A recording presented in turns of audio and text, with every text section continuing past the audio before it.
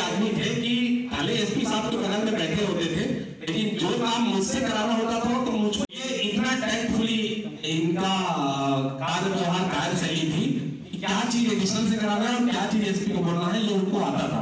ये बहुत बड़ी बात थी। मैं कभी कभी सोचता था कि साहब तो बगल में बैठे हैं तो मुझे क्यों लगाया?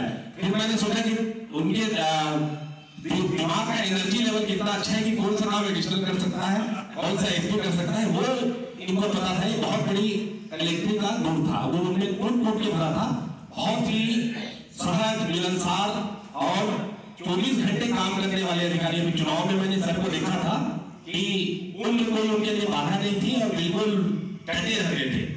आज हमारे बीच से जुड़ा होकर जा रहे हैं और जैसा कि अखिलेश पाटिल जी ने आगामी आमंत्रण उनको दे दिया है, रीवा में प्रमोशन के बाद कमिश्नर बन गया है, जोरदार तालीम ताकि ये खुद जो है, आसमान में कहीं ना कहीं बनी रहे और फिर से साहब आएँगे।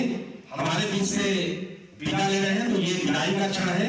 थोड़ा दुख तो होता है, लेकिन फिर भी साहब की कार्यशैली ऐसी है कि हमको फिर से काम करने का उनके साथ मौका मिलेगा, लेकिन साहब के लिए चार लाइन।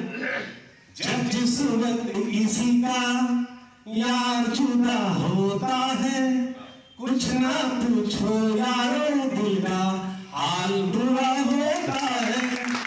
जब जिस वक्त किसी का यार जुदा होता है, कुछ ना पूछो यारो दिल का हाल बुरा होता है।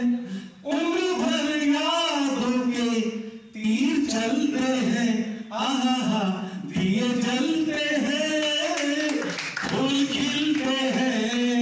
बड़ी मुश्किल से मगर दिलीप कुमार सर जैसे दोस्त मिलते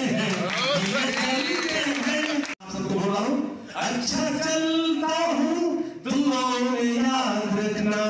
मेरे ज़िक्र का स्वाद रखना। दिल के संदूकों में मेरे अच्छे काम अब चिट्ठी तारे चले हैं अपने मोबाइल में तुम मेरा यूँ सलाम रखना।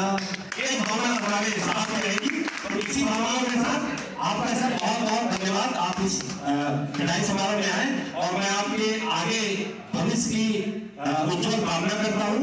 आप स्वस्थ रहे, परिवार स्वस्थ रहे और एक नई ऊर्जा और नए संचार के साथ आप अपने नए कार्य क्षेत्र में अच्छा कार्य करेंगे। ऐसी मैं शुभकामना देता हूँ। जय हिंद, जय भारत।